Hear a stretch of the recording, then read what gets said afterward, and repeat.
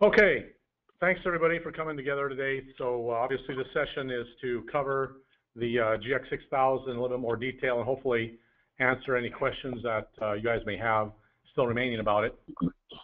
Okay, so we're going to cover some features first. Uh, of course, the monitor is up to six gases, four standard sensors, LEL O2, H2S, and CO.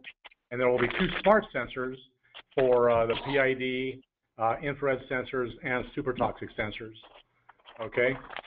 And uh, the PID will have a library of over 600 VOCs that can be uh, tapped into and selected and looked at.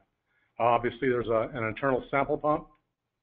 Uh, new features that this unit brings to uh, RKI's offering is a man-down alarm, an LED flashlight, a panic alarm, and of course 180 degree auto display rotation. So that will definitely set this unit apart from the 2012 that we have in addition to the PID obviously and some infrared capability. Uh, new features, this lightweight, uh, high impact rubber boot, uh, ergonomic design, fits the hand comfortably. I, I, like it, it's a little heavier than the 2012, but uh, I think it, it feels really good in the hand myself. It does have an IP67 protection rating, so obviously this will apply to the unit that is not concerned with the uh, inlet fitting or the exhaust fitting. Okay. Uh, operates on 14 hours on rechargeable lithium-ion batteries and 8 hours on alkaline batteries. There are two different packs for the unit that can be used for those purposes.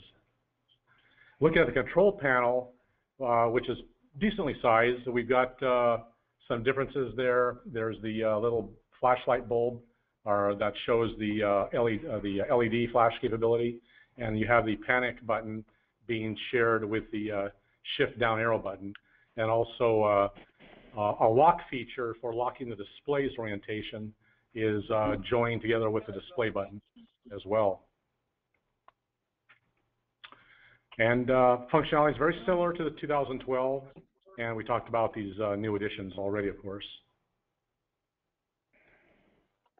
LCD display options. Uh, looking at the LCD screen, uh, we do have a little heart that flashes in the upper left-hand corner. So if it's flashing, that indicates a normal operation. That means the CPU is functioning properly. And you have a little fan icon that will be twirling on the upper right-hand corner of that bar, and that uh, shows you that the pump is operating properly. And, uh, and when you look at the uh, gases themselves, we, of course, can see the gas designations, the ranges, or the current readings, I should say, in this particular illustration, the units of measurement, and then the peak bars uh, scales to the right of each gas, which is a function that can be turned on or off, by the way. Okay? And that will display all six channels at once, if that's what you want to do. Uh, there's also a single gas view that shows one channel in large scale, and you can auto scroll or manual scroll. Uh, there are settings for those functions. And auto rotation, so that um, if the instrument is uh, being worn on a belt and it goes into alarm by the operator, they just have to basically lift up the bottom of the instrument and then uh, tilt it toward them, and the display will rotate 180 degrees so the display is right side up and they're reading the characters properly. Sensors. Uh, here's a graphic of uh, the cover removed from the uh, back of the unit so you can see a uh, rubberized gasket uh, assembly at the top, if you want to call it that. And then there are the uh, sensors below that in the unit. So you have on the right-hand side the LEL sensor, the CO sensor, H2S, and O2, which have orientations very much like the 2012 and 2009 do for mounting them in their wells. And then the um, uh, smart sensors will go in the left-hand side, obviously. The PID will go in the top section or closest to the LEL sensor, and then the uh, super toxic sensors or infrared sensors can go in the bottom one. Uh, when the PID is being used, it, it, has to go in that first slot at the top, or that first uh, sensor well. If the PID is not being used, then all the other sensors can go in either one the unit does have the intelligence to properly identify and locate uh, each sensor that's being used. So the PID uh, having the ability to monitor for low ppm levels of hydrocarbons where absorption could be an issue uh, that has to be first in the flow path, basically. So that's why it's important that it be located where it is. And uh, here's some uh, part numbers. Uh, basically, the standard four are sharing the same sensor as the 2012 and the 2009. And then the uh, smart PIDs, uh, or the, rather the PIDs, electrochemical sensors and infrareds, are designated by color coding. So white is the PID, gray will be the electrochemical sensors, and black will be the infrared sensors. Uh, and incidentally, some of these sensors are coming out in the future. I got a quick question we- for you, John. Yeah, go ahead. Yeah, go ahead.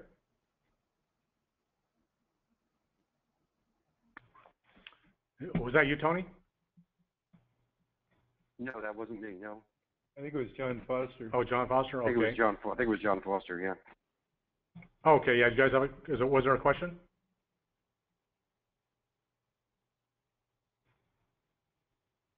Okay, I guess we're not getting the I- I audio at the moment. I actually have a question, John. Um, Okay, i- i- if, if that PID is not in that slot, will the sensor fail when you turn the unit on? If somebody puts it in the wrong slot? No, it won't. yeah, It will not. It uh, it was originally that way, and we didn't like the fact that it went into fail. So you can actually put it in the wrong slot. Um, the only thing that's going to happen is you may have lose some sensitivity if you have some really heavy, sticky hydrocarbons. Um, so it's just it's optimal to put it in the right um, in the in the top slot, but it's not uh, you know life threatening if you don't. Okay. all right.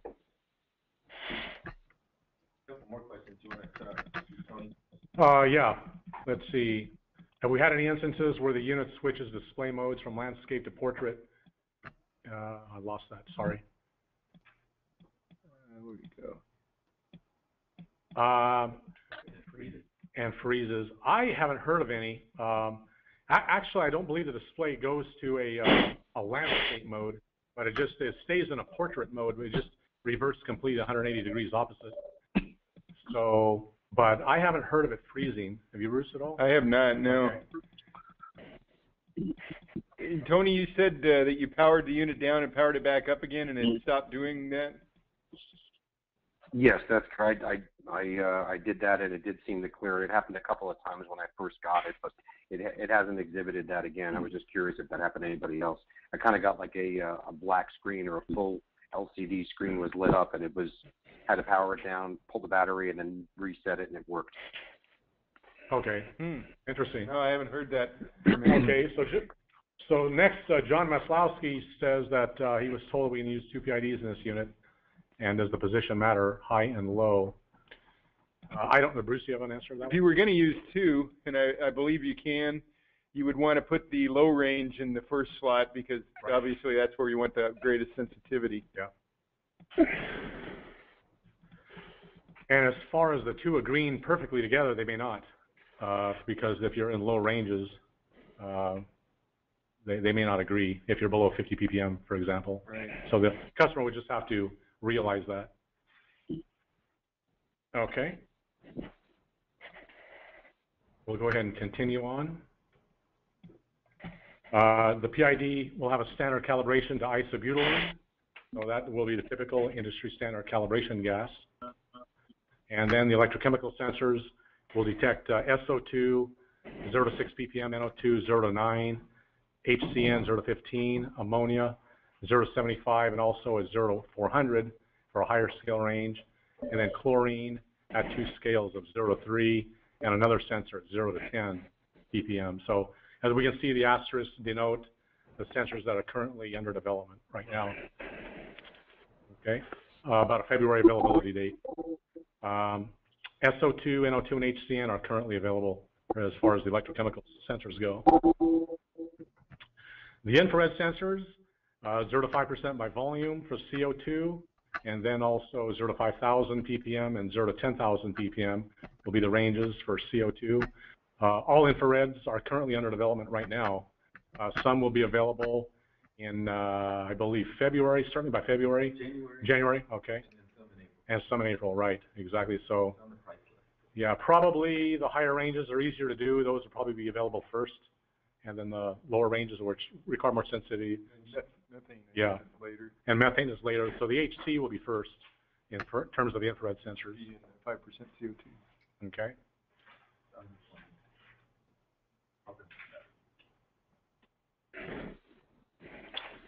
All right, power supply. Um, as I mentioned before, you have alkaline, uh, batteries available. Uh, three AA size alkaline batteries will fit in the alkaline pack. So as we can see, the pack can be opened and the batteries can be, uh, uh, exchanged as needed. There's also a rechargeable pack, a lithium ion pack, which will give you more than fourteen hours of operation. And that pack can be charged, uh, as installed in the unit, or you can actually take the pack off the unit, drop the pack in the charger, and and charge it by itself, basically. And, uh, here's a pictorial of the, uh, docking station that Bruce will be covering in some detail a little bit later on. In general, the docking station will be connected to a single PC, and, uh, up to two, up to ten units in total can be connected, but, uh, I think there was some discussion about two banks of five, actually. Bruce will elaborate on that. No, you can, uh, have, you can have all ten It's connected Okay. together, and run off, there's two different, uh, chargers for the docking station. We'll go over that in detail later, because we're gonna have a separate session on the, I mean, later today, after John finishes, we'll go through the docking station. But, uh, yeah, you can have up to ten, uh, together.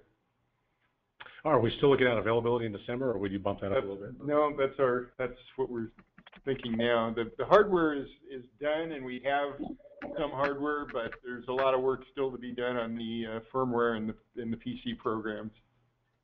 Okay. Here's a uh, quick reference card as part of this PowerPoint, which, uh, if some of you haven't used this PowerPoint yet, this will be a good tool for you to use uh, with the distributors and some key end users. And uh, this diagram shows just the component locations, three alarm LEDs. Uh, the infrared communications port is right below the uh, keypad. And uh, on the back, you've got the flow chamber uh, cover and chamber below that, and the battery pack cover as well. Okay, calibration and maintenance. Okay, back to normal op screen. Uh, you, get, you get into the cal mode the same way as the GX 2012 and GX 2003 and Eagle, so we're very consistent in that. Pressing and holding the uh, downshift button, and then press the display button. So that was the, um, let me hit the reset button. That was the panic alarm. So you actually, if that's activated, which is going to happen in real world life, you don't want to wait too long. So basically, you want to press that and quickly press the display button. Okay, so there's your cal mode. All right. So we'll, do, we'll go down and do air cal here. Press uh, power enter. Okay.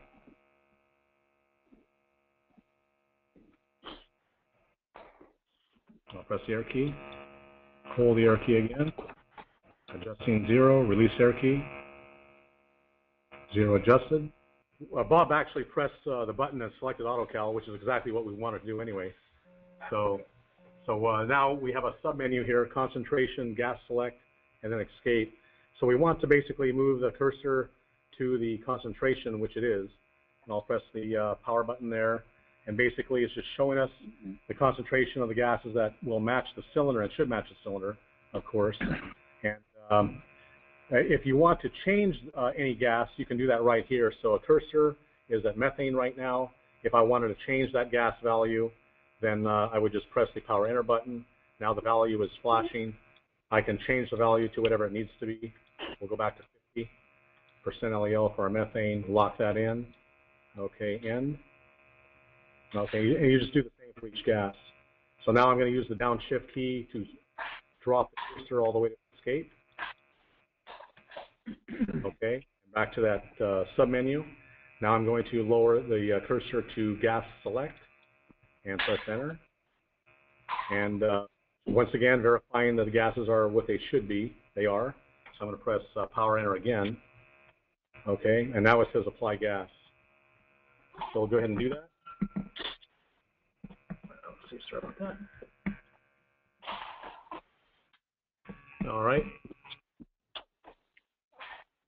So we'll let that, uh, basically climb up and stabilize. And, and you guys notice right now, uh, there's four gases being displayed, the standard four, even though I do have a PID in here. So there's five sensors in here. But it's gonna show you the standard four first. Okay? So we're at 50 uh, CH4, 12.1 oxygen, 24 and a half H2S, and uh, 48 ppm on the CO. Normally, we would definitely flow this a little bit longer to make sure it, it is in fact stabilized. It's very close right now anyway. So I'm just going to go ahead and press enter. Okay, end. And uh, shows you what the cal values are now. Okay, then we're back to uh, gas select, which I'm going to press power enter right now again because there's still the uh, the uh, the VOC sensor, and then I'm going to press the down arrow key to bring up the VOC. There it is at 100 ppm. Press power enter. Okay, there it is. The gas is still flowing all this time, so I'm going to press power enter to make the adjustment. End. Okay, now it's calibrated to 100. Okay, now we are we are done. Disconnect the gas. We're back to the sub menu of the calibration menu, and uh, just want to simply go to escape now. Now, ordinarily, if you don't want to hear the, alarms, just go ahead and let it run like this with the alarms deactivated. But if you go quickly to escape, you'll probably get some alarms, likely. Okay, now uh, single cal is very simple.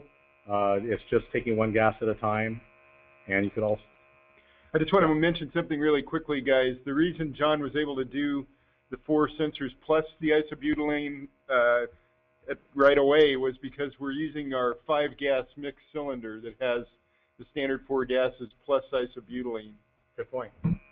So, so if we had two cylinders, if we had a standard four gas, and then the uh, separate isobutylene cylinder, so at the conclusion of the four gas is when you have the opportunity to switch your cylinders to the isobutylene, and then continue in the menus the same way that I did. Okay? Now, is this like the rest of the other two platforms where, are like the 2012, where if you don't calibrate all the sensors, it won't reset the date? That's correct. You, like the 2012, you have the option of having the date set by the standard four sensors or by all the sensors. Um, so depending on which setting you have will decide whether it uh, updates the calibration date if you do all sensors or just the standard four. Now, on that VOC, is it because, it, does the lamp require to be calibrated with 100, or can you use 10, 10 ppm uh, to calibrate that lamp, or is that prescribed by Ion Science? You can use a different value, but that's what's in our five gas cylinder, and that's also what's in our standard single gas isobutylene cylinders. Mm-hmm. Okay, so Right. Sarah asked the question at CSU, at uh, CSU, she has 10 ppm. Can she use that? Sure, she just has to either use a single cal mode or change the auto cal gas value to 10 ppm for the PID. Okay. 10 ppm is uh, always what RAE Systems use for their parts per billion unit. It's just going to make it extremely more accurate at the bottom end. Uh, but it, Right, and that's 10 ppm is what we use for the low range sensor. if I can make a comment on the low range sensor, you, we really need to let them know it's one part per billion to 50 parts per million. They look at it zero to 50. It really doesn't tell them what that it is a parts per billion one. Well, It helps actually, it out. reads out in, it, it does read out in parts per billion, not parts per million. It's a Right. zero to 50,000 PPB. ppb. Yeah. Right, but we Yeah, need to let they're- them know that eh, because it'll it, it'll bring their attention to that low range sensor is a parts per billion. Right That's now, good it- point. really a lot of people don't. Also, on the parts per million, when we say up to six thousand, we need to let them know that it starts at 0.1 part per million to six thousand. We get asked that all the time. Does it read? You know, in what increments does it start at? 0.1. Okay. Any other questions or comments on calibration? Okay, we'll go ahead and uh, continue then. Um, Oh, Daryl asked a question. Oh, sorry. I'm sorry, Daryl, you asked a question about the oxygen, uh, calibration. Uh, Yes. You, you can't go below, or, actually, you may be able to set it, uh, less than eighteen per, or higher than eighteen percent, but there's a good chance you're gonna fail the calibration. We don't recommend anything lower than ten percent or higher than eighteen percent for the oxygen Okay, value. what, what was the low range? Ten, Okay, if you, that's if you're doing a four gas, uh, calibration. If you're only so you- you could not put a, uh, hundred percent bottle of nitrogen on there and calibrate it down to zero? No, you can, but you have to do that in the single cal mode. Right, okay, so you can still do that, okay, got you. Sure. Yeah, if you're doing a single cal, you can set it pretty much anything less than eighteen. Right, okay. All right. Uh, what we'll do now is we'll go back to the PowerPoint because uh, we'll uh, pick up with some. Uh,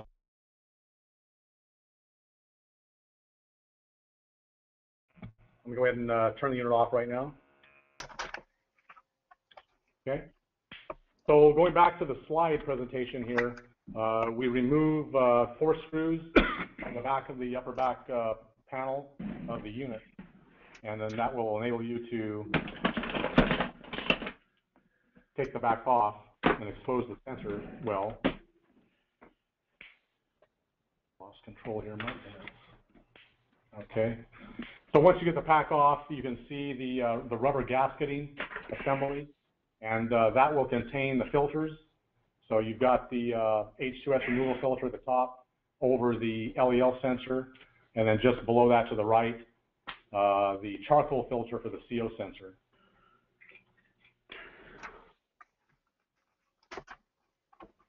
Okay. And uh, once you remove that uh, gasketing, you'll see the uh, sensors themselves. Back one. Okay. Shows you a better, wherever you had, you had a better view of the filters. Right. It's further on. Oh, is it further? Further on, Oh, okay. Oh, okay. Oh, There should be one right there. Okay. So you- to the right, there's the assembly of the gasket with the filters on it. And then once again, the sensors in the unit and uh, where the uh, smart sensors would go to the left. And if the smart sensor is not in there, there's a dummy plug. Our dummy plug is uh, where there is no active sensor. So that, that's standard operating procedure. It's a little portable. Okay. Uh, yeah, here's a good representation of the gasket and uh, where the filters go. There's uh, the part numbers conveniently for you guys.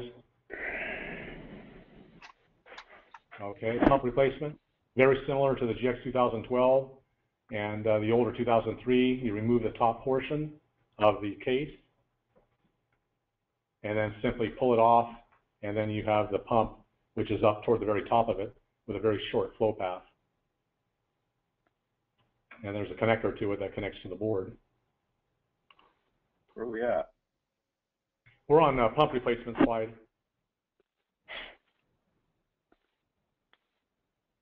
Okay. And uh, the exploded view, basically the major components uh, disassembled from the unit.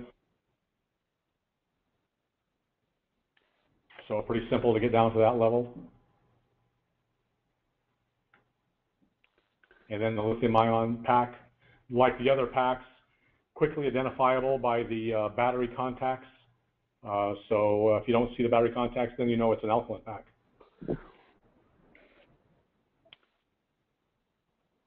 Okay. Any questions on the components, or those components, or any components at the moment? Okay. So, uh, yeah, go ahead. Uh, I'm looking at your instrument and it shows those, uh, ten holes across the top. And when you put the rubber boot on, obviously it covers those ten holes. Um, what, what's the purpose of those at the top of your monitor there? Oh, these little white. If you look at your monitor right now, look at your, you got a little Right. ten of them, five of them, you know, two on top of Oh, each. right. Yeah, I think So it's when just you a, put the- uh, it looks like a speaker. Yeah, with the um. Yeah, It doesn't really block it. It does it? it sort of points it out. If you see the boot, Right. got a little angle there. If you put put the rubber boot on, it covers all of that. It covers it, but Yeah. if you notice that that part of the boot, there's, it's, uh, raised up so that you leave some space, so that you're not muffling the buzzer. It still protects Right. it from anything getting on those openings, but there's enough space above the buzzer to let the sound project. Right. In addition, in addition, there's a hole in the boot in that area. Right. True.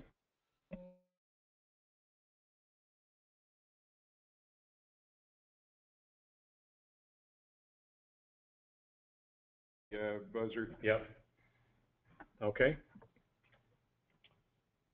Okay, It doesn't quite seal over if you look at that, it's kind of right, exactly. open, still. yeah, it goes out. Right. Okay, that's good. All right, so we'll go ahead and, uh, do the user mode here. We'll, we'll cover that first. Um, see, maybe we should try the, the PowerPoint slide here. Here are instructions for the user mode. I know we're still, we're facing glare. So basically, to get, to get into the user mode, um, we are pressing the up and down arrow keys together. I don't know if you can get this out of the way here.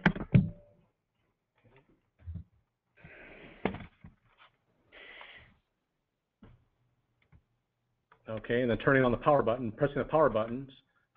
So very much like, uh, getting to the setup mode with the with the Eagles rather, all right? So, uh, mode select is, uh, uh, user mode and the maintenance mode. So we'll look at the user mode first. I'm just gonna simply press power enter, okay? And right now, it, uh, comes up with date. Here we can change the date. Uh, next is, uh, date format, so you can make it, uh, month, day, year, or year, date, month, something that uh, you have several options, okay? I'm gonna scroll down again. If you guys wanna look at something in particular, definitely let us know and we can get into that function. Because if we go through every single one in depth, we're gonna be here for a long time, as, as some of you have probably already discovered. Configure the channels. Basically, when you get into this mode, that's probably worth looking at. Uh, configure the channels, so you have channel number one. Let's say we wanted to change the order of these channels, channel number one with channel number three. So the cursor's at channel number one, so I'll press enter. Okay, now channel uh, uh, C, uh, HC or CH4 is flashing. Okay, then I'm going to drop the cursor down to H2S and press power enter. Okay, end. Okay, and now the reverse. So channel number one is now H2S and channel number three is CH4. So whatever channel you select initially will start flashing. The second channel you select is going to swap out basically positions with that particular sensor. So we'll, we'll change it back the way it was. Okay. Get H2S flashing, drop her down to CH4, press enter. Okay, and then we're back to our normal ordering. So that, that's what that function is. Okay, I'll just drop it down to escape, the cursor down to escape. Hey, John, why would you do that? You could do that if you wanted to uh, have have one. Say you're most interested in H2S. Maybe your application that's the one you're most interested in. You could have that so it shows up as the first one on the screen. Um, I think when you're in the singles mode, right? Then when it's scrolling. Yeah. So if you're in the single, then you can put it in the single mode view, and when the display's scrolling, that one will show up first. Uh, it's just a it's just a feature that you know somebody might want to do if they're really you know, particularly interested in one one gas for for a particular you know time they're using the instrument. Okay. I, I could see where it worked for um, channel five and channel six. So if they were drop plug and play sensors in there, but the other four, yeah. Yeah, it's just a capability that it has. The Eagle 2 has that ability, that ordering ability as well. Okay. Then, uh, I can't say it's that a lot of people use Right. it because we don't get many questions about how to use it, but right. it's there if you have somebody who wanted uh, wanted to use it. And in terms of languages, at least currently, there's English and Japanese that are, are within this language function, so there's only two selections right now, anyway. And then the ROM sum, uh, if you go into that, uh, you look at the ROM number, which is the program version number, and the sum is the check is the file checksum of that program. And password can be set up and activated or not activated. Right now, it's not activated. Is there an automatic backdoor valued like 1994, the Savior? Yeah, uh, the, it would be uh, for the user mode. Um, so I go into password right now. It's off or on. It's generally 006, and certainly is that for the maintenance mode. I haven't haven't tried to set up a password for the user mode. Zero zero six. Zero zero zero. Yeah, we'll we'll look at that right now. In fact, Three, three zeros and a six, so it's basically the instrument model number backwards. Right. Like it is on the, uh, two thousand twelve, it's twenty-one oh two. Okay. Okay, we're gonna start measurement again here. All right. So um, right now, you notice that uh, I'm at uh, normal mode. Okay. And uh, it says uh, mode select normal. If I use my up or down arrow keys, I can select leak check mode, which because I, activated leak check mode in this instrument earlier, so I do have the uh, the opportunity to do that. Okay, when you start it up. All right, so uh, we'll just go back to normal mode. Okay. And then uh, it's going to go through its uh, various diagnostics at this point. But that, that's not what I want to do right now, so I'm going to turn it off. And we're going to go Does that into have maintenance. Bar hole probe mode? Say again? Does that have bar hole probe? Does it have an, uh, an option to activate bar hole probe? It does. There, there will be bar hole capability, but, but to have bar hole capability, you have to have a percent by volume sensor, and those aren't available yet. So this unit is smart enough where you won't even see it, actually. You can activate it in the setup mode, but uh, you'll never see it anyway because those sensors aren't available yet. With some of the older models, you could select it and it would fail if you try to go into that mode.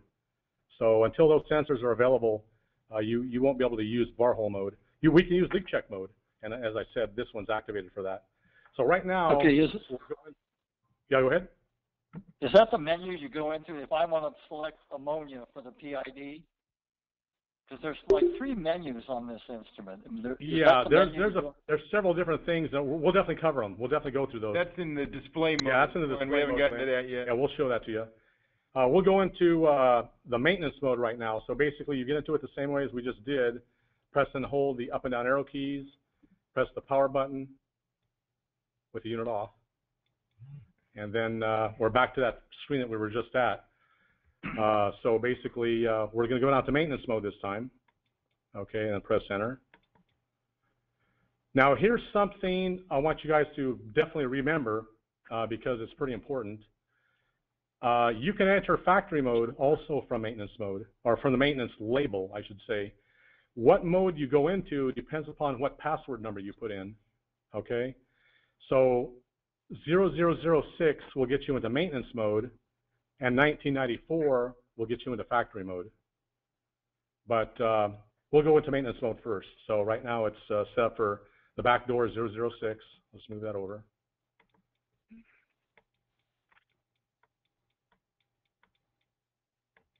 Okay. John, did you access the screen from the user or from the maintenance? From the maintenance. Okay. Right.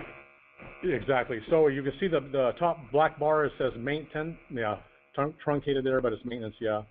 And we have the dates, once again. Some, of some of these things will be similar to the user mode, but most of them are different. Uh, again, you can change the date, obviously, here. Uh, we can change the date format, just like we mentioned before. Uh, gas calibration, you can do a gas calibration from here, uh, like the 2012. Uh, bump tests, you can also do that from here. Uh, cal setting, we can go into that. And here's a, uh, a submenu here. So there's actually five submenus in uh, the user mode. Now let me just find my notes real quick. So gas calibration is basically uh, the first one where you have uh, auto cal, single cal, so that, that's obvious there, and air cal. And then this actually would be the second submenu uh, capability in this unit, and which is the cal setting, where you can set the cal reminder, the cal interval, the cal expired action, and uh, the cal check gas. So the cal check gas is either, uh, let's go back, let's go down to that, take a look at it. Okay, let me go into that. So cal check gas is either all gas or for gas. So it'd be set for center for gas or for a PID or the electrochemical sensors uh, should you have those configured. Okay, so I'm just going to put it to all gas right now because I do have a uh, uh, PID in here. Okay, then we'll go down to escape and press power enter. And that gets us back to the main uh, maintenance menu again. And then the next is uh, bump settings, which is the second submenu uh, capability. So we have bump display. Uh, bump display, what that means is basically if, if I turn that on, that means that bump is going to come up on, as an option in the display button function when we go through all that.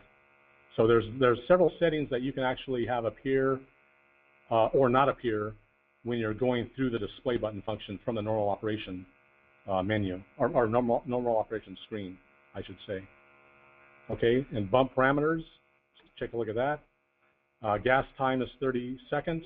Uh, the uh, check is 30% of the cal value plus or minus. So that's the variance that the bump is going to uh, allow. And the cal time will be uh, 90 seconds. So if you fail a bump, it will calibrate, but when it calibrates, it's going to just uh, add 60 seconds of cal gas to that, of calibration time, I should say. So the total time is going to be 90, actually. Okay? And then right now I have auto cal on, so that means if the bump fails, the unit will automatically initiate a calibration. Okay, as long as the gas is flowing there and you haven't touched anything. What is the Go down to s- escape. amount of time Yeah, question? you can use for bump and cal? What's that? What is the smallest parameter that we can use for bumping and caling? Um, I haven't checked. I haven't tried that. See what's in the screen here, but You can try it. yeah, let's take a look. Let's go back up to uh, Yes. gas time. Yeah. Okay. So it looks like 30 is the minimum. And on the calibration? Yeah, calibration. Uh, so on this one, let's take a look.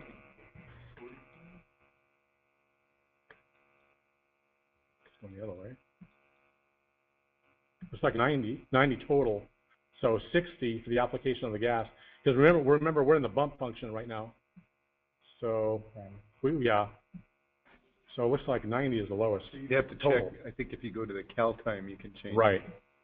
On the, in the cal. In the cal setting, exactly. Okay. So let me lock that in. Okay. Scroll down, scroll down to escape. Anyone has a question there? Any questions? Yeah. He's got a question. Okay, so we can set the cal, the bump reminder, the bump interval, how often obviously you want the bump to uh, be activated, and bump expired action, very much like the other instruments. Cannot use, confirm to use, uh, basically, okay? Or ignore basically as well. Uh, bump check gas, and then escape. Okay, we're back to the main maintenance menu. Alarm setting, we'll get into that. Okay, so we have alarm points, alarm latching, alarm silence. Okay, Hey, hey, um, John, at Yeah. each one of those parameters, is there a Yeah. similar function where you can make it display in the display key and then turn off so it doesn't show up? you mean turn off from the from the display function? Yeah. Or I don't think so. No, there's only no. a few things that you Yeah. can actually do that. Right. Yeah, and, and once it shows up, it's going to show up. Yeah. So you have to come back in this mode and turn it off. But not everything has that capability. The bump display is one of the few things that you can, like you can see the uh, ID you can turn off. Um, but there's not many things that you can take out of the display mode. Now let's go to cal setting. I think we talked about that earlier. Okay, cal setting. Okay, uh, cal reminder, cal interval, cal expired, cal check gas. Okay, all gas, okay, that's the same.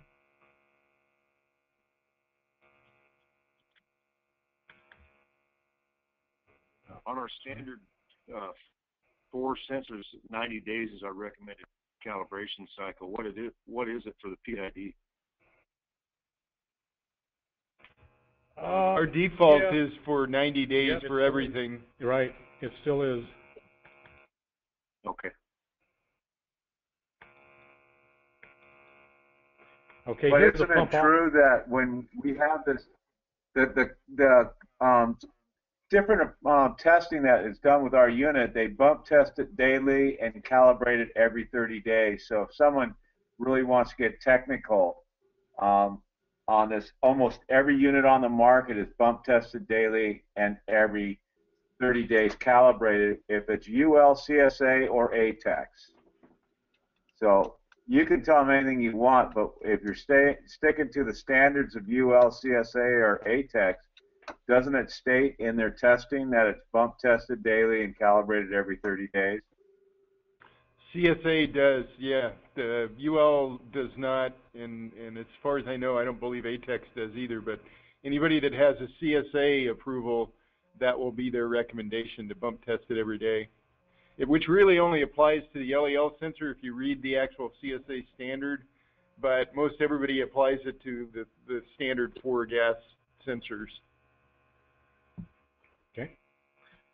Uh, next on the menu here is the pump off display. So pump off gives you the ability to turn the pump off, particularly if you're going to have the unit on for a while, you want to save battery. Let's say your battery voltage is dropping, but you're still in an area uh, where you don't want to turn off, turn the unit off and off, or you just don't want to turn it off and on for some reason. Um, and you can actually turn the pump off and reduce the uh, consumption of the power um on the unit. And uh, for the display there, that function will show up in the display function where you can turn it off and on from the display. function. That's one of those items that you can control from there. So you turn the pump off and it's a diffusion instrument. No, it's not functioning if you turn the the pump off. Right, That's only there to to allow somebody to save power right. when they're not actually using the instrument, but they don't want to turn it off. Does Yep. the screen go blank or does it indicate that it's not monitoring? Yeah, there's a, it does give you a message on the screen. Do we know anyone that actually uses that? Uh, I've never heard I one. think in the bar hole mode that some Oh, people yeah, might want to use that that's because true. they only are taking a test when they've got the thing down the bar hole, but Yeah. they don't want to turn it off in between. Okay. I Okay. don't know why anybody else would. I think somebody, Yeah. I think somebody else asked. wa- Wasn't it one of the other international companies or something that asked for that? Somebody did. Uh, we we didn't actually ask for that feature, but it was it was put in because someone else asked for it. Okay, next is uh, ID display. So that's very much like the other units, and it will show up in the display uh, function if that's activated. And I do have it activated on this one. Uh, backlight time, language, uh, lunch break, very similar to the Eagle 2 and Eagle 1, or you, uh, 2012. yeah, the 2012 as well, right? Auto zero, okay, it's either on or off. Demand zero, on or off. The zero follower, get into that. Zero follower uh, right now is on for these sensors, okay, but they could be turned off for for various reasons. What the zero follower does is it corrects for uh, negative readings. If the sensors drift below zero, the it will automatically correct for that. And zero suppression, center that. So uh, right now it's two percent. Right now it says zero for H2S and two for the rest of the sensors. So typically two percent zero suppression is the default. And what that means is typically it keeps the units reading zero. If there's a little bit of sensor drift occurring, um, that's less than that range, a two or one, uh, then it will just be suppressed to read zero. Okay. In fixed systems, that applies to the negative range as well. If they read negative, they'll also be suppressed to read zero. Question, Bruce, uh, with that suppression there, we in leak check, does that mean it hides that, uh, zero to a thousand? Uh, no, there's no zero suppression when you're in the leak check mode. Can we do that? Um, I don't think there's a setting for that I actually. No. No, when it's in the leak check mode, it assumes you want the most sensitive uh, test capability, so it doesn't give you doesn't have any zero suppression. Okay. Uh, next very is good. uh, IR. Question? Yeah. Bruce, um, if we set that CO to zero suppressed, Uh-huh. will, will there still be the, the deadband on on the sensor? No, that's what that means is the, the zero suppression is basically the same as a deadband. So if you turn that to zero, then there's no deadband for, for the, that particular sensor. Okay, so that's not there's not a capability of that on like the 2009. We we've not been able No. to get the Port Author- uh, or the 2012, right?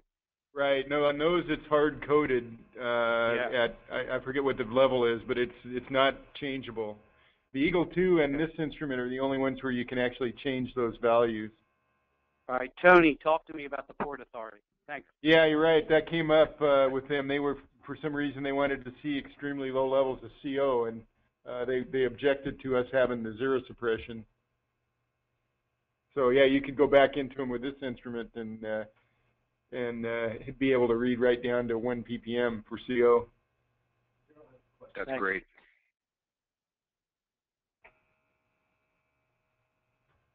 What it does, Daryl, the, the way the zero follower operates is if it if the instrument goes negative for a period of time, and I think it's one minute or, um, it knows that a negative reading is not possible, so it'll bump the reading back up to zero. I got you. Mhm.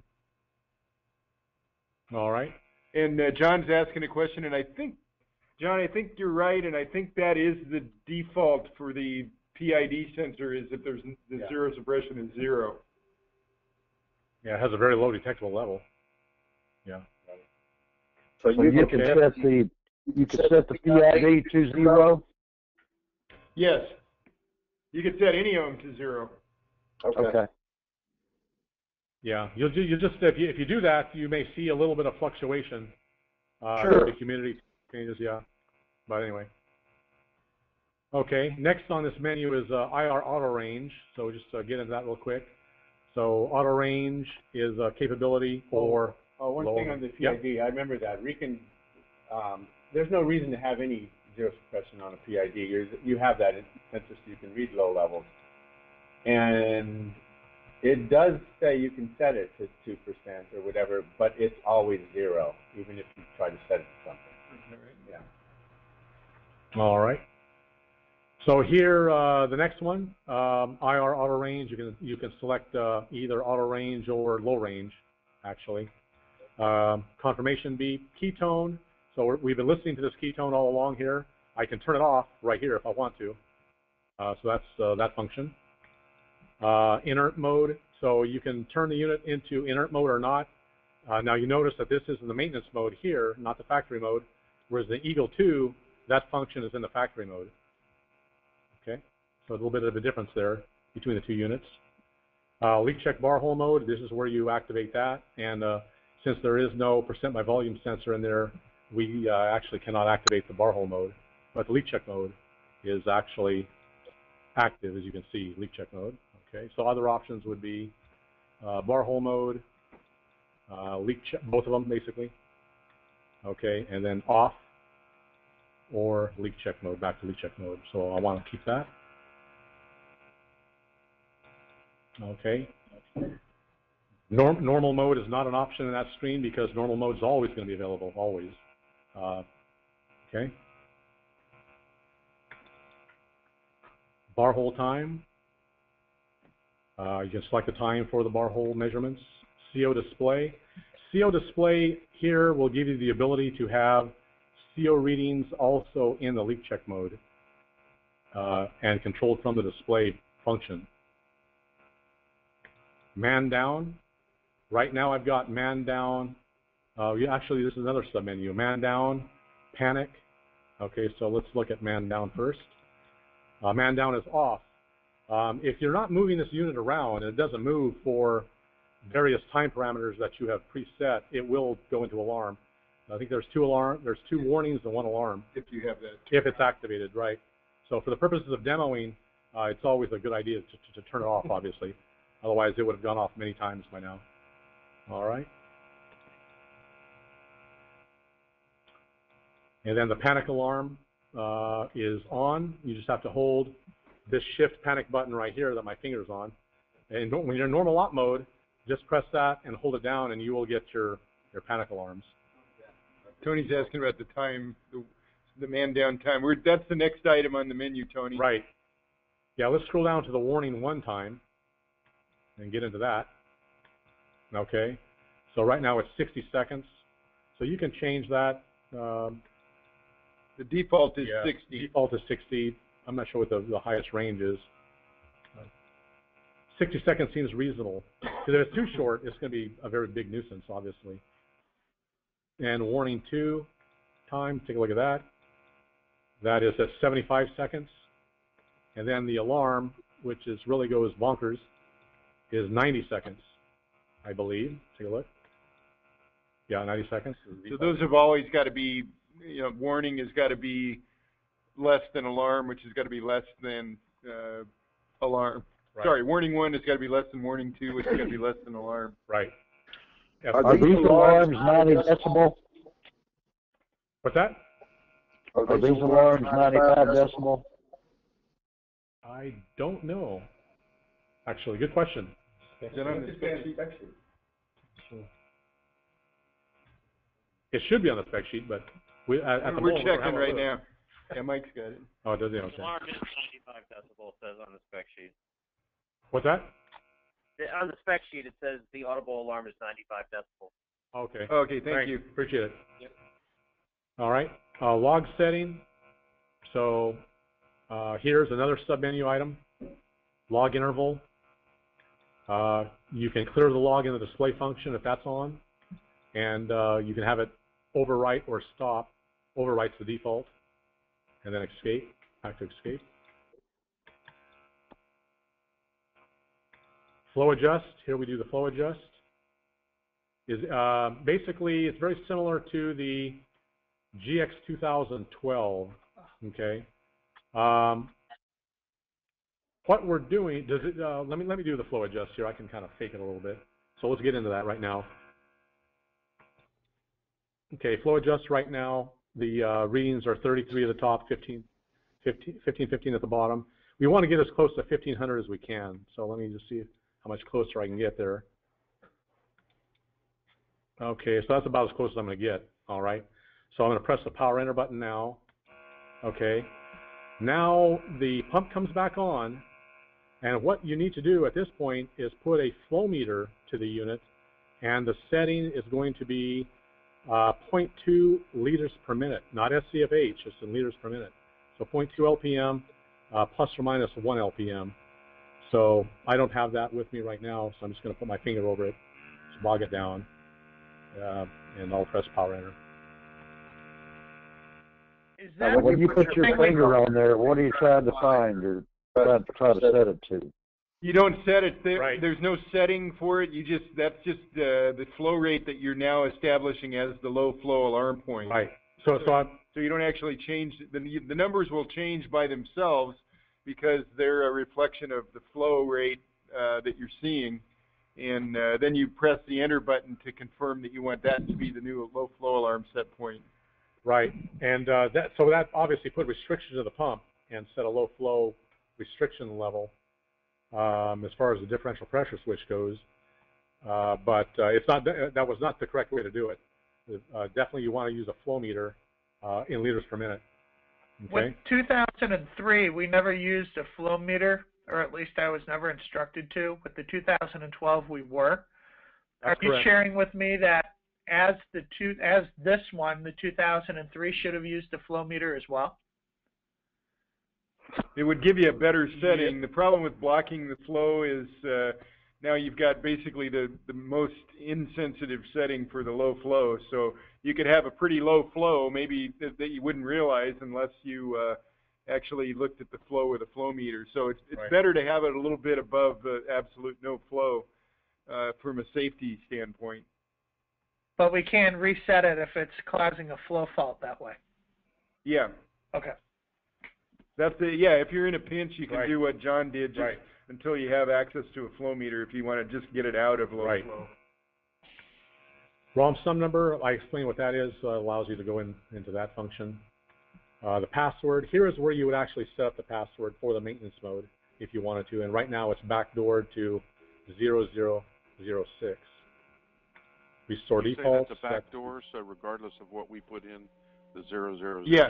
is always there. Yeah, no matter, that's right. If you put in another password, you can still get in with, with the password you've set up or with the zero zero zero six. Okay. Then back to start measurement. Okay. So that basically gets us back to that screen. I'm going to go ahead and uh, turn it off again. John, I have a we'll just- question. Yeah, go ahead. Uh, when you're in normal mode, uh, how do you switch from normal to say leak check or to bar hole? Right. When you're uh, in normal mode, what you want to do, Don, is uh, press. Yeah, I'll just show it to you. Let me uh, let me turn it back on here. Oh, sorry. I think it's a little different than the 2012 It is. because of panic. Right. So we'll let it go through its diagnostics mode and get to the uh, normal operating screen, of course.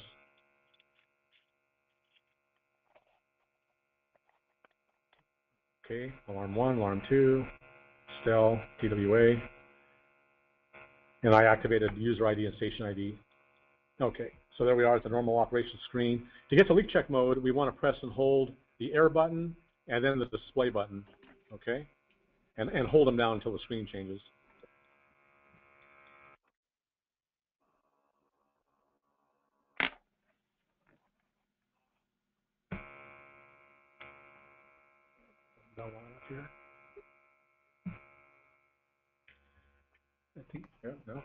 You have to, yeah, there you go. So that's what. Oh, right, yeah. And this is the screen that you get to. So it's going to bring you to the screen where you can uh, then select the uh, leak check mode. So I'll do that now.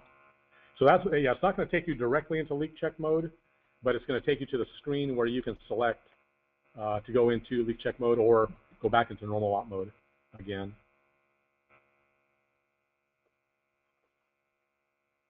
How long do you have to hold those two buttons before you get that change in the screen?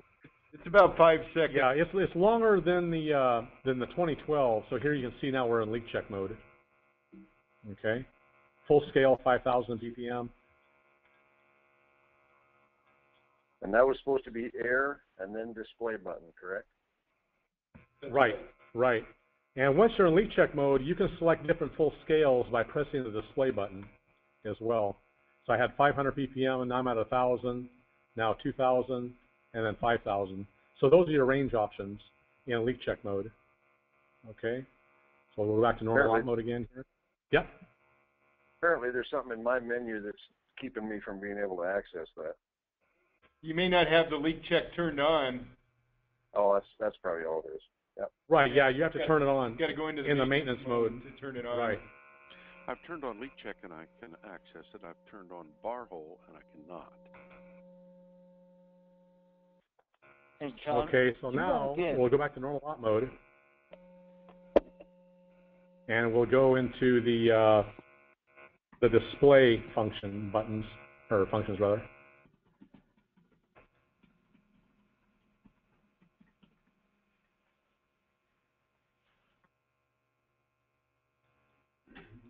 Okay, so now we're back to normal off screen. So if I press the display button, um, it gives uh, protection, and if we get into that, we can see that it gives you a warning, uh, no LEL alarms if the catalytic sensor is disabled. Right now it's enabled, okay?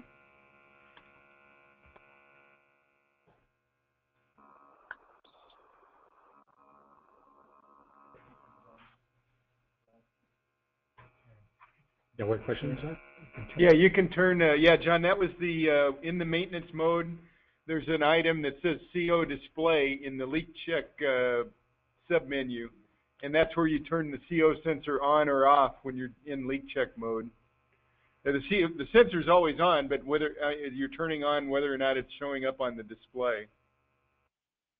Okay, I pressed the display button again and went from uh, uh, the uh, protection to uh, peak. Let's do it again here. There's protection. And it times out. If you don't press buttons soon enough, it'll time back out to the normal display, just like all the other units do. Okay, so there's peak, there's STEL, your STEL readings for your H2S CO with VOCs. Basically, uh, toxic compounds will have a STEL and a TWA associated with them. Okay, alarm points. Okay, you can, you can uh, say yes to enter, no display. Okay, operation time is showing you that. Uh, date and battery, uh, type and voltage. Okay, we see that. Uh, log remaining right now is uh, 155 hours, so that's activated. Log clear is also activated, so if we can clear that or not. Now pump off, again, here is where you would turn the pump on or off, or uh, off or on. User ID, station ID, and user ID or station ID would not show up here if I had not activated them to do so in the maintenance mode. Is this where you set it? That's where you turn it on, yeah. Is this where you enter the data? You don't enter the data there. You do. You have to do that for, with the um, from the uh, setup program. But once you have data entered there, you can select from your list of user or station IDs that you you put into the instrument. But When you say can't- setup program, you talking about linking it to your computer? That's correct. Oh, you can't. Okay, let's get back by hand. to The only user out at. IDs I have are Manny, Bob, Bruce, and Katie. Yeah, that's that's because that was I don't know, I'm not sure the history of your unit, but that would have been programmed by someone. Um, but you can do that with the uh, setup ID. Um, pro I'm sorry, the user setup program allows you to enter in those uh, IDs, stations or users through the computer. through the computer. Yep. Okay. Okay, let's go back up to where we timed out at, and that's the rec record data display. Right here, uh, record data display. So this is basically for snap snap logging is what this function is for. If you want to do some snap logs in data. Okay. No data, okay.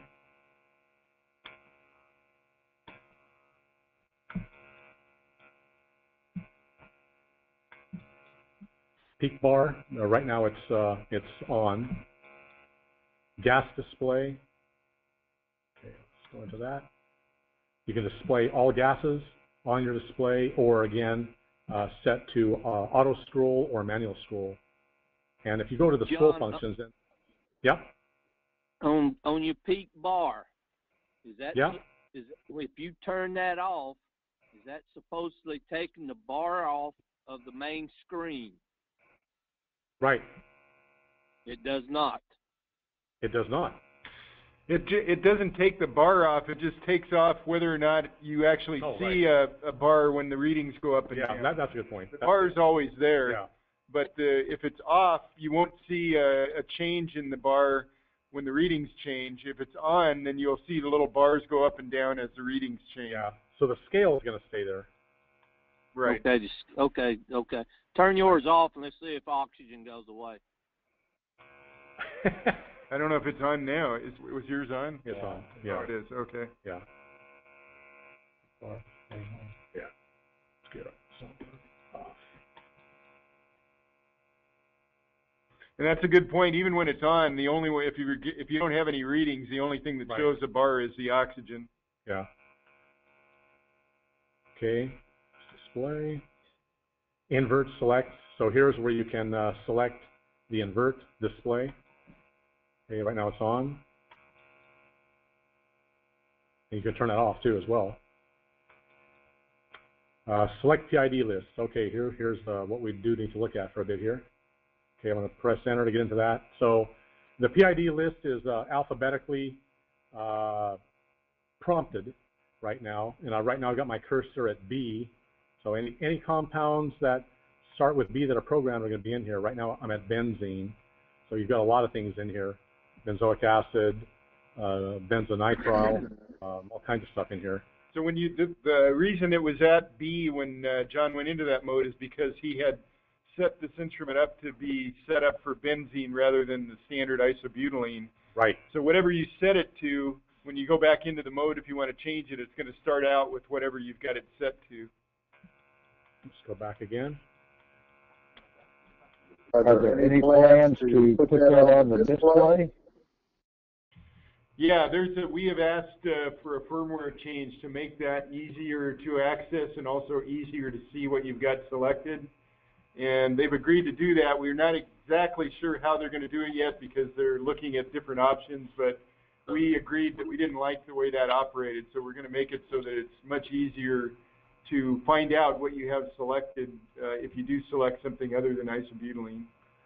So this example here, yeah, here's benzene, so it's number 31 of the list that's in here. And C6H6 is the uh, chemical formula for that. And uh, the response factor is was point is 0.46. I just timed out of it again. But anyway, so it's isobutylene times 0.46 is going to equal benzene. Okay, let's get back over there again. So you guys can see, obviously, those of you that have gone through this, there's, there's a, quite a bit of menu stuff to this unit. And uh, in training, I think I'm going to allow 90 minutes for distributor training for it. Okay, so LCD background is uh, the next function.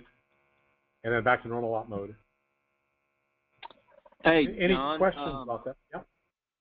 when you're in your PID screen over there, go back to your PID select. All right. Let me get in that again. Uh, one thing I have found, which I'm sure everybody else has found as well, if you go instead of obviously wherever the cursor is is where you were last, but if you go to enter, Yeah. if you go Go to, if you go to recent, Right. it'll show you the last one that's the top is what you've chose. Right. Exactly. And then the one before that was isobutylene, the standard one. Yeah, that's right. So yeah, you- that's a how- good point, Todd. how many can you store there? Because I have about five or six in mine I in that recent. believe now. it's eight. It- It's either eight or ten. Yeah, it's either eight or What ten. about, how do you get them in the user list? The first one's Uh, the user list. If you, yeah. if you click on user list, there'll be some listed there as well. Okay, so Mike says there's 30 that you can put into the users list. So yeah, you'd have to put them in there yourself. And How they'll do stay you on do there. that?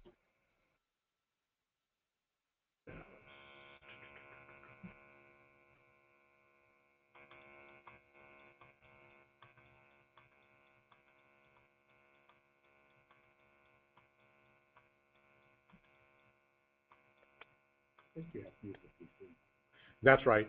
Yeah, Bob is correct. You have to program those with a PC control software. That's right. Okay. Yep. You can select them from the list of uh, seven or eight hundred that are in. Yes, that's exactly right. So you could save your favorite ones in there that you use all the time, or Right, you can use, you can keep eight of them in your uh, recent. In the select. recent. Yeah, So you could create your own mini user list by in the recent list without using the computer, just by going into that mode and selecting them. Okay, there's one more thing we just need to take a look at, and that's When just time uh, to- briefly. I'm sorry, say again? I say when tying to a computer, what uh, versions of Windows will operate? Um, I think it'll work on everything, including Windows 10. I, I'd have to check and see if we've actually checked Windows 10, but I believe we have. Okay, now we're going to go into the factory mode. So once again, I've gotten into the uh, the maintenance or the user mode screen by with the unit off, pressing up and down arrow keys, holding the this uh, the power button, and then that gets us back to that screen. So now I'm at maintenance, press enter, and now I want to put in 1994. Oops, Uh, move that one. start over. Yeah. Start over. Yep, you'll start over again. Just like the other units, if that happens with the other units, you gotta start over again. Okay.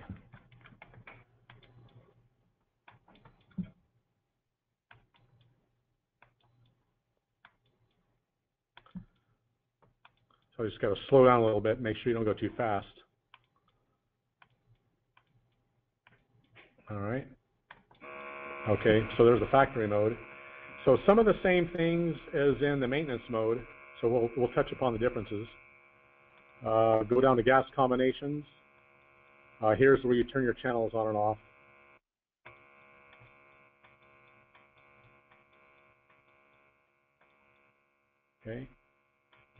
HC select is CH4 for hydrocarbon.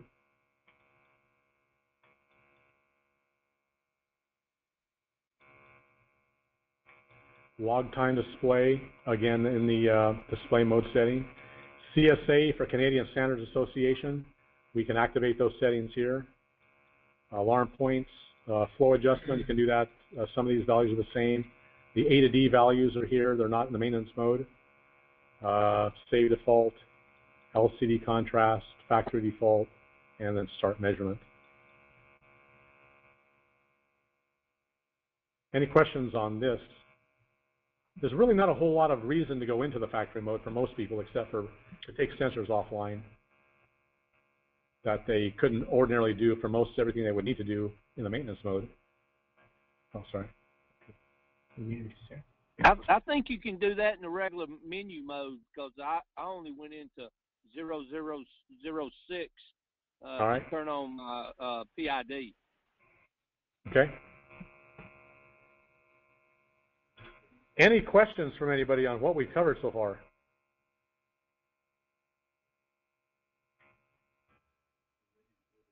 I still am not able to access my uh, bar hole mode. I've I turned them both on, but Right, yeah, you can't, allow Don, because you don't, you can only, the bar hole mode can only be accessed if you have a volume sensor in there. Yeah. So since that sensor's not even available now, there, you can, you can turn on the, uh, the, the mode, but it, but it'll only show you leak check because you don't have the right sensor. Right. Good. So in, in that sense, yeah, the unit's smarter now than the other ones used to be. You Smarter won't even see than me. now. Any, uh, All right. I, I had a question, Bruce. Um, a- any, any chance of getting that, that HC option, um, instead of, uh, just CH4 or HC, um, LEL?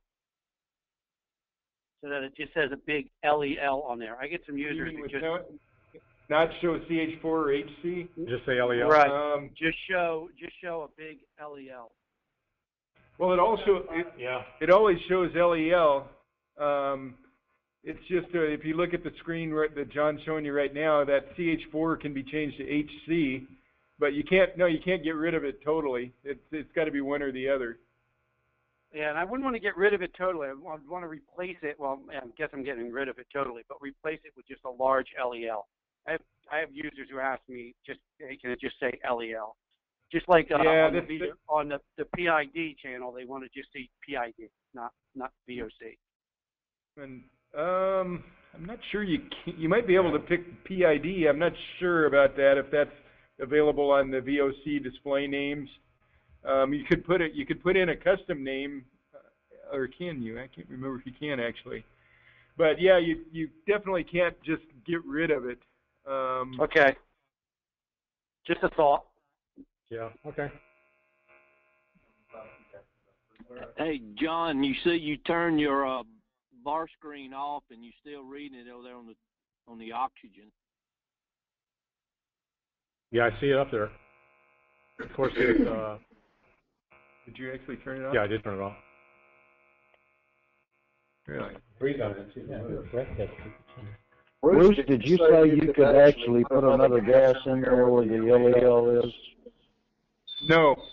You only have two choices: HC or uh, CH4. Okay. It didn't show it on the CO there. That just seems stuck on that O2 sensor. Yeah.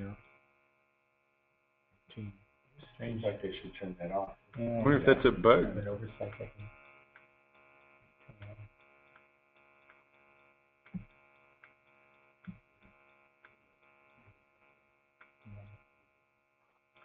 Yeah, we'll check into that in more detail, obviously.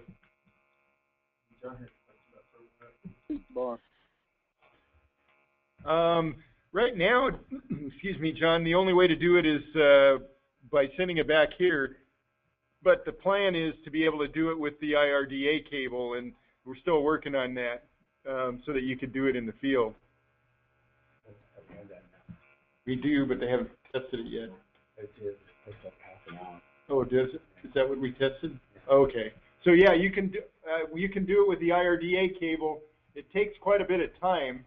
Um, we haven't put together the instructions yet for how to do that, but we'll put together instructions and send it to you guys. And then, uh, if you have an IRDA cable, you'll be able to do the update yourself.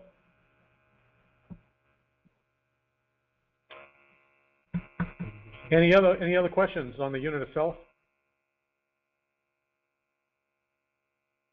Okay, guys, I'm gonna turn it over to Bruce now, and he's gonna touch upon the, the data cal station Hey. and any other data, data logging. I'm, I'm sorry, I got one very quick question. Um, Okay. my unit shipped without a hydrophobic, uh, disc or a cotton ball in the, uh, the, the intake. And, um, so did one of my customers. Um, are, we- are- are they not necessary? No, no, you should have gotten it. If it, if that happened, it means it was a mistake uh, Okay. here. That's, mine came the same way, but I thought it was because, uh, um, when you put a PID in it, you can't have the cotton ball or that, um, first hydrophobic? Or is that just, Yeah, mine don't have one either. Neither does mine. hey, um, I, I had Yeah, something think on the charging of the unit. Um, have we looked into, um, making like a USB charger? Because when we have that car charger, a lot of cars are not coming with cigarette lighters anymore. They're coming with USB ports. Also, there's like a USB to cigarette. I mean, Hmm. how we do it now, that, uh, I mean, it would cut our costs, I would think, to go to a USB type of charger. Then they uh, could charge it from their computers. They could charge it from their um, cars and other areas. Have you we seen haven't that? looked at that, but we can. I mean, we, Yeah, because that's what all your phones are. Um, a lot of lot of cars, and I've been in a lot of rental cars. The cigarette lighters won't even work, and the, and some don't even have cigarette lighters. Um, and at the same time, everything's going. It, seems to be with USBs. Even your even your charging for your um, your your phones go from USB right into a little plug. I noticed that RAE Systems and MSA make a little plug that can go into a cigarette lighter or just have the USB, and it seems to really have cut their costs down. I, I'm not, I didn't follow that last part, Rhett. What did you? You said it has a what kind of a connection? It's it's like a, it's like a little um, cigarette lighter thing, an adapter, but it has a USB plug into it. But it's an option. Uh, Our competitors are doing. They're going to USB for charging because everything's USB. It, um, and I've seen these adapters that they can go into a into it's a little cheap little cigarette lighter adapter um, that can be bought anywhere or USB plugs into it, or they can just plug it into their computer, or they can plug it, you know, right into a, a charger because all of your phones, everything's going to this USB adapter. You know, I just thought it might cut our costs down on our chargers and also make us more compatible. Well, I, I imagine we could get a uh, cigarette lighter to USB adapter. Is the I what I wonder about is if the USB ports put out enough current to charge um, charge our instrument. We could look into that. Yeah, I noticed that our competitors have it. Um, in fact, I just saw one from RAE Systems and one from MS. Okay, we got to know. We'll look into that.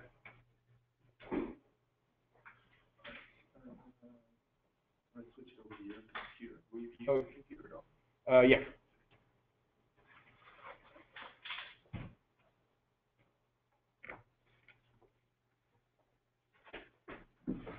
We're going to talk, sorry, we're just taking a minute to change our setup around a little bit, and then we're going to talk about the docking station. Um, I'm going to mostly talk about the hardware and show you the hardware because the programs for the docking stations are not finished yet. So even though we have the hardware, we're not shipping anything until we get the programs finished. And some of we, we literally just got uh, one of the programs uh, and haven't even really had much time to go into it. Got it yesterday, so and we've already found a bunch of bugs in it. So I'm going to mostly show you the hardware, show how the docking stations function, talk about some of the features that they will have, and um, and show you how they operate.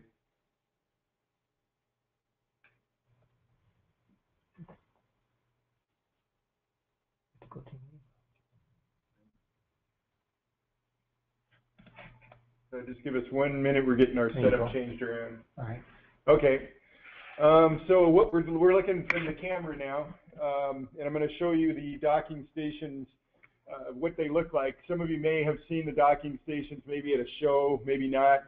Um, but they're, as uh, we talked in the beginning, you can link up to 10 docking stations together. Uh, and if you do that, you can you can use one demand flow regulator and one connection to a computer um, from the uh, from the first unit, which I'm going to call the master unit as we talk about it.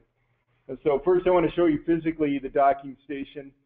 Um, on the left uh, left hand side is all your uh, inputs and controls. So the top, if you look at my finger, the top slot is for an SD card, which is where data is stored.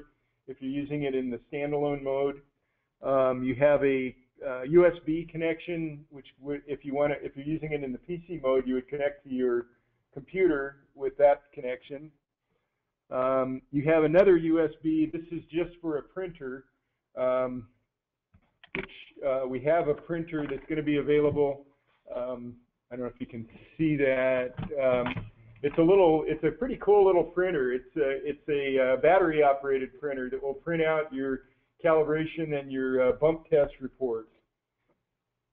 And I'll show you how the how that function is controlled when we get into the units themselves. Um, the next uh, port is an Ethernet port, which will allow you to connect the docking station directly to a network without a PC. And I'll talk about that a little bit more later. Uh, the power switch, which just turns the unit on or off. Uh, and then there's a power connection for the power supply. Uh, one thing to note, there's two power supplies that we'll have. One of them is just if you're using a single module, and then a larger one if you have more than one module connected together. And then at the bottom uh, are your gas and air ports. So you can see that there's four ports there. Um, there's four ports there, one for air and three for gases. So you can actually have up to three different gas bottles connected at once. And then if you look at the back of the unit, uh, there are places at the at the top and kind of the middle where you can actually link units together. Uh, so that if you have 10 of them connected together, you can put, it comes with some little brackets that will hold everything nice and snugly together.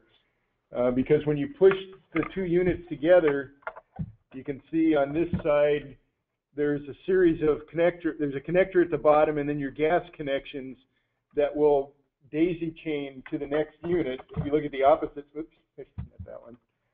Um, if you look at the opposite side, um, there's mating connections uh, to so that if you have multiple units together, that's how they connect together to distribute the gas, distribute the power, and uh, flow data uh, to the computer or to the uh, Ethernet. So no tubing, they just plug in, is that correct?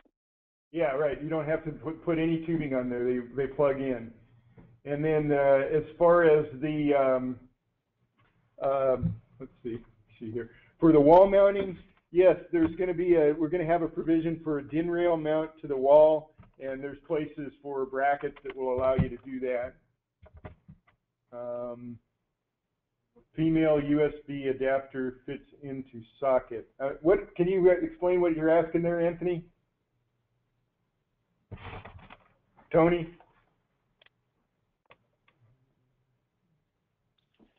Maybe he's muted. Tony, you there? I'm sorry, I had, I had to, yep, I'm sorry, I had to come off mute. How many, what's the maximum that you can connect together when you daisy chain them? Uh, well, they daisy chain themselves. You don't have to have a separate cable from each one. So your output to the computer is the, is from the master unit. So you don't, you only, unlike the other docking stations where you have to have multiple connections, with this one, they're all connected internally if you have them banked together. And you can have up to ten. Gotcha, thanks. Hey, Bruce. So there's two different styles, a master and then the ones that you can daisy chain together? They're all the same, no, they're all the same, uh, physically and electrically. It's just that when you have them daisy chained together, they act a little bit differently because there's only one master.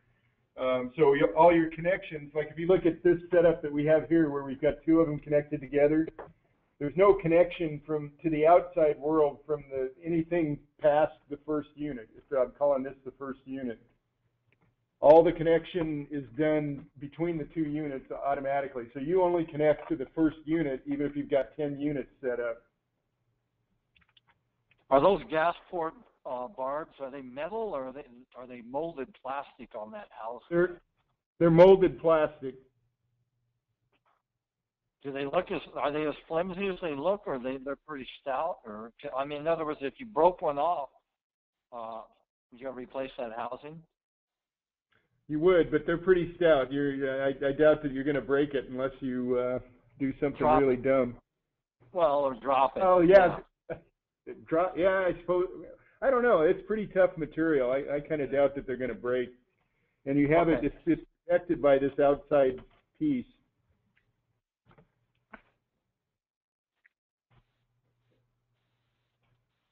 Um, and then you can see the filter is on the, that's the air intake. So you put the filter on the air intake and then your gas bottles connect to the other three intakes.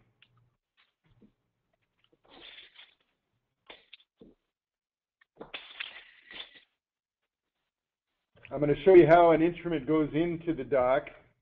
Oh, let me show you one other thing while I'm, while we've got, we're talking about it. Uh, so this unit, I don't, uh, this is an expansion module. Uh, you can connect up to three Calvo gases on one uh, dock, but there are some versions of sensor combinations where you might need more than three. So this is called a, this is basically a solenoid valve expander that allows you to connect six gas bottles at once. Uh, I don't know how many combinations there are that require that. There's not very many, but there are some.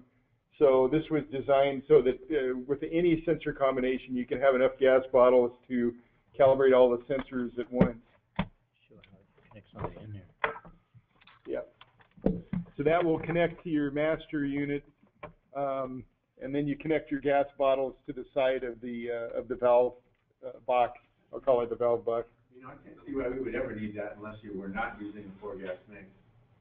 You get a bunch of different toxic, but a bunch, you can only have two. You can only have two, yeah. Well, if it Yeah. had one instrument, had one flavor. And if you had a, you had, yeah, yeah, and it, yeah, it's, that's, make, Mike makes the best point, which is, if you had ten units ganged together and you had multiple combinations of sensors that you wanted to calibrate at once, uh, that's probably when you're gonna use it. Also, if you had a different, um, LEL gas for the LEL sensor where you couldn't use a four gas mix, that might be handy there.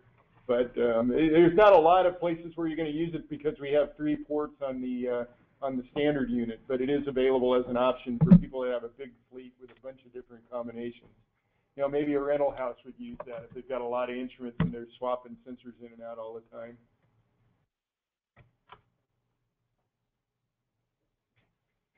So I'm going to show you how the instrument goes into the dock. Um, you can put it in with the boot or without. You drop it into the base and then push down on the big red button on the top and that locks it in place. I'm just going to go ahead and put two units in here. This one doesn't have the boot on it, but it'll still go in.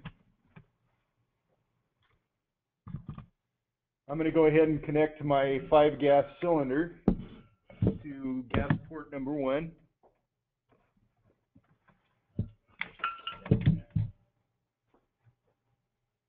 And I'm going to go ahead and turn on the power. Maybe this is where we want to see the, get a little closer to the display.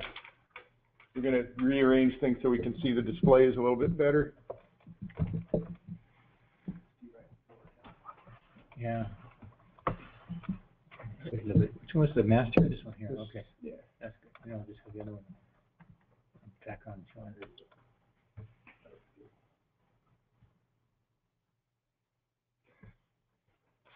Can you guys see that okay? Yes. Okay. So you'll notice on the two, the different, there's a different display on the two units. The one, the master unit, this one here, has two buttons at the top. This is a touchscreen display. There's a function button, which is the screen that we're in right now. And then there's a unit button, which will convert it to the same display as you have on the, uh, on the second one there. So that's basically showing you the instrument. Um, so I'm going to go ahead and take it out and put it, take the instruments out and put them back in so that you can see how they automatically uh, turn on and, and uh, connect to the dock. So I put it in, I push the button down. I don't know if you could hear that, but the instrument actually turned on.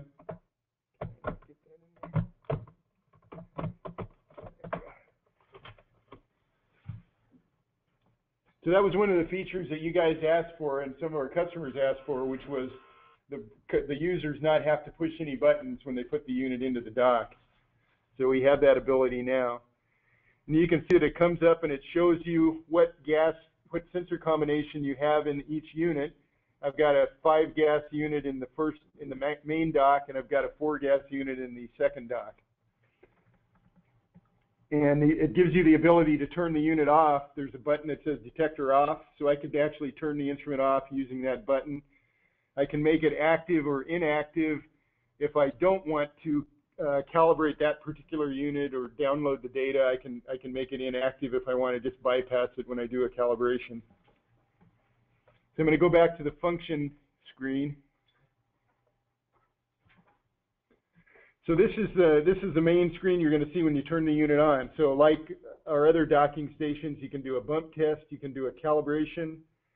Uh, the alarm check is something that's new, and that's also something that we were asked for.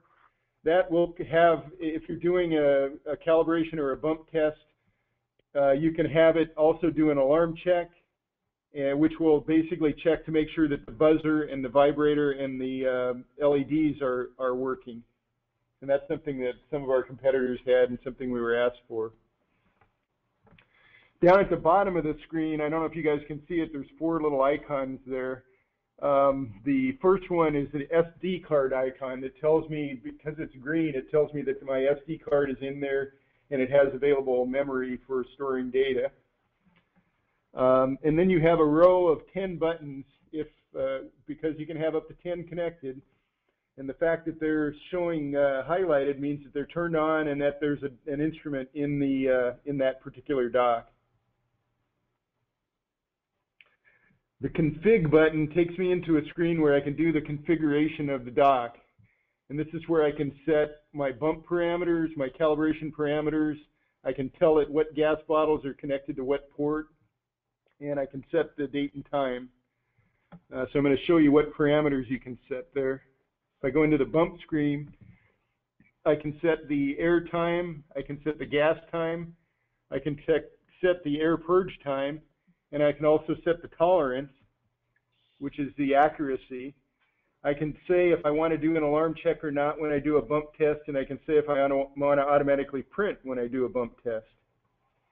So if you, how do you, how do you change it?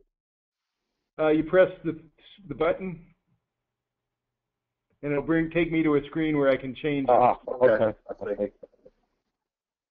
The, the tolerance, the, is uh, that standard? Is that, is that like an industry standard, fifty percent tolerance? I don't know that there is a standard. That's uh, you can set it to whatever you want. Um, the CSA standard is actually what is it, Bob? Is it ten percent or twenty percent? It's, the CSA is, is unreasonable. It's, it's plus Plus 10, or plus uh, twenty and minus zero. Yeah, nobody does that. But I, I don't know that there's an industry standard for that. I, I don't believe there is. I think it's whatever manufacturers pick as a standard. If I go back, that the little uh, whatever the, what do you call that symbol? The little arrow at the bottom takes me back one screen. That's the return, yeah. So if I go into the cal screen,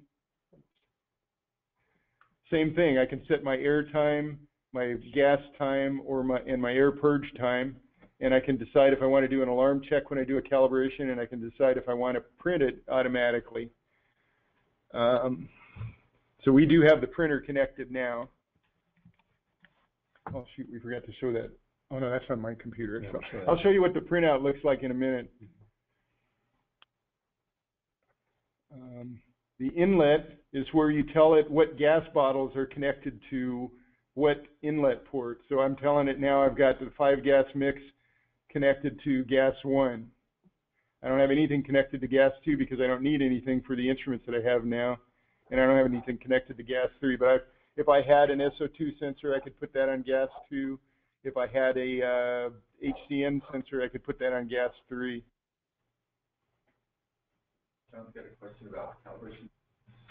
Uh, Okay. calibration time is different on a dock than the unit. Uh,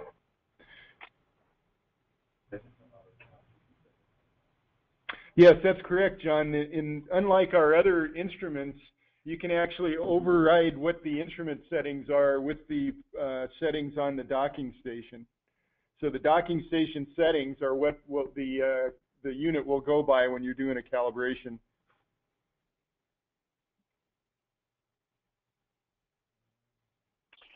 So it doesn't automatically recognize what the instrument is set to? It does, but it will. You can override it with the uh, settings. Oh, okay, so So you can actually have it's gonna be set up for what the instrument is. What was that, Daryl? I said standard, it would be set up for what the instrument is. hmm But in this case, the reason their settings are different on this now is because I've been playing around with this docking station and I've changed the settings. Um,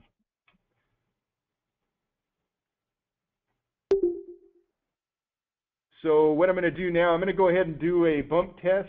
Uh, if you look at my bump test configuration, I do have the alarm check turned on, and now I'm going to turn on the auto print also, so it'll print out the results of my bump check. So now I'm back. Uh, now I'm back to the main screen. So this is where I can tell it to do a bump or do a cal or do an alarm check. So I'm going to go ahead and hit bump.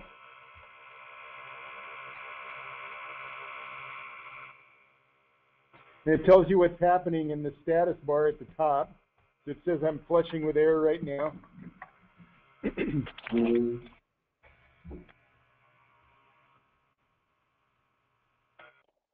So Bruce, Now I'm- now I'm applying the gas. test, will it calibrate it? Couldn't hear that. If it automatically fills a bump test, will it calibrate it? That's in the, that's what setting in the bump test uh, parameters. You can either do that or not do that. And you can see on the screen on the right that the readings are changing now because we've got gas flowing to the two instruments. If I hit the unit screen, I can see what the unit uh, in uh, dock number one is doing. So you can see we got a pass on all sensors. Uh, finished the air purge. Now I had the alarm check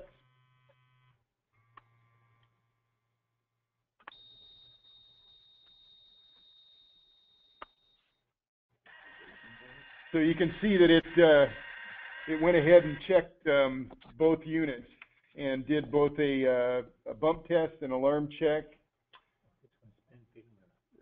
Yeah, for some reason this second one, I think there's something wrong with the vibrator in this second one because it keeps failing the vibration test. And it automatically printed out a report on the printer, that little printer that I had connected to it. Bruce, is that thermal paper or ink paper? What what is that? What is, is it thermal, Mike? Yeah, it's a, yeah, it's a thermal printer.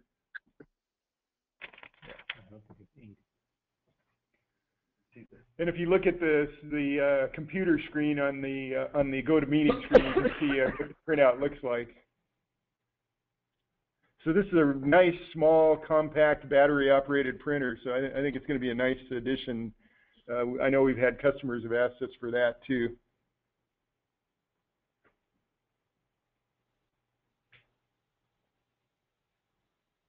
So once I hit, it'll stay in this screen in, until I hit end, whether I do a bump or a calibration, and then it'll go back to the uh, to the home screen, and it's ready to do something else.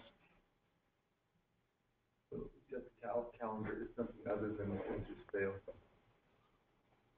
Yeah, if it passes the calibration, it'll reset the uh, calendar. If the other, if uh, say the vibrator fails, it's still going to pass the, the calibration and update the uh, the date and time.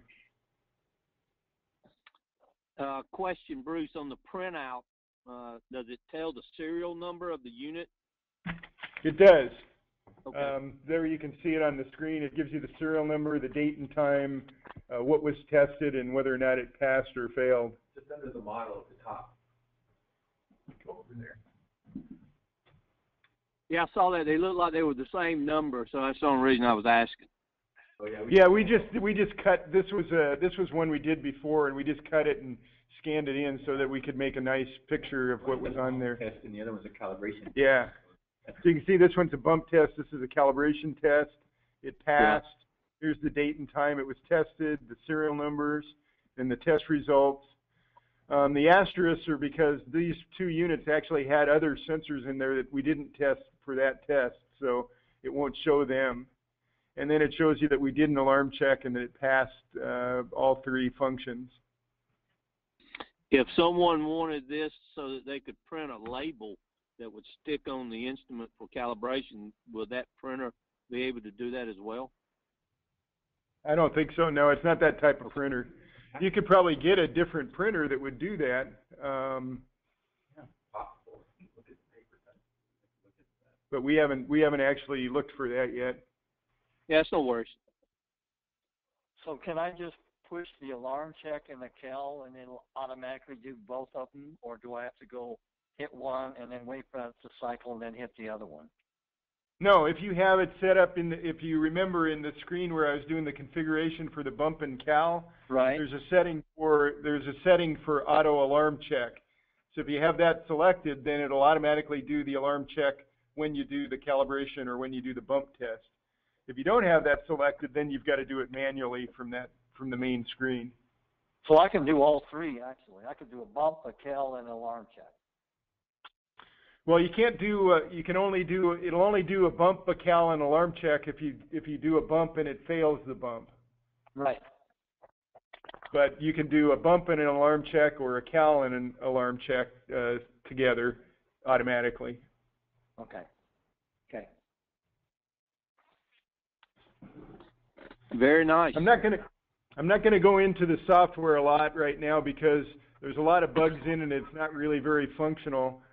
Um, but all three softwares that we're going to have for this unit, the, the data logging software is identical to the data logging softwares for the 2009 and the 2012 and the Eagle 2. The uh, standalone software, um, the only difference between it and our standalone software that we do now is that you import the data from an SD card rather than from a USB drive. And you also have the ability, if the unit is connected to the Ethernet, you can actually import the data from the uh, Ethernet. So you can be on a network and import data from cal stations that are all over the place. Um, but that's not working yet, so I can't show you that yet. Um, we're probably going to do another session on the cal station when we get ready to release it and when we have all the software bugs worked out. How How much? much? What, what, we- what was that, the, the cost? Yes. Well, with just over, just over two. It's going to be around two thousand dollars for the station. What? And I don't remember what the valve box. How much do we did we come up with a price for that yet? And with the station, you're going to get the the single power adapter. Well, we'll, we'll have, offer the station in a couple of different ways. You'll get you can get it with a single power adapter, in which case it comes with an SD card and also the USB cable to go to the computer, and then the single power supply. And then we'll also offer it without a power supply and without the uh, USB cable, so that if you want to gang multiple units together, because you don't need those two things, and uh, then you would have a different power supply that's a larger one that would handle anywhere from two to ten units.